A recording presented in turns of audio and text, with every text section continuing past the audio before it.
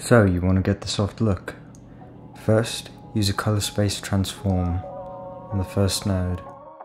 Put in your camera's color space. Mine's Fujifilm, so I'll be using F-Log.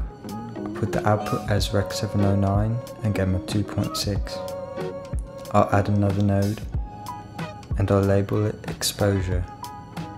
Next I'll add my primaries. After I'll add saturation. Then last, my glow. Then I'll travel to my HDR wheels and then I'll put in my camera's color space for the HDR panel.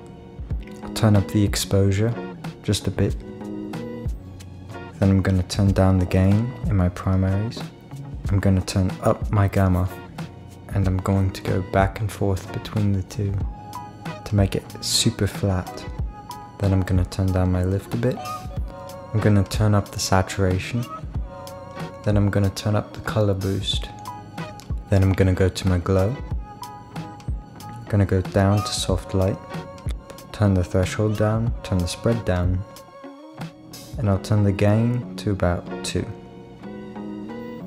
Then I'll use the spread around 0.5. Put up the gain a bit to make it light and airy. Then I'll go down to my blend and use it about halfway, maybe a little more. I'll add one more node to correct any colors that need to be corrected. And yeah, that's the look. Please like and subscribe if you enjoyed the video, and I'll see you next time.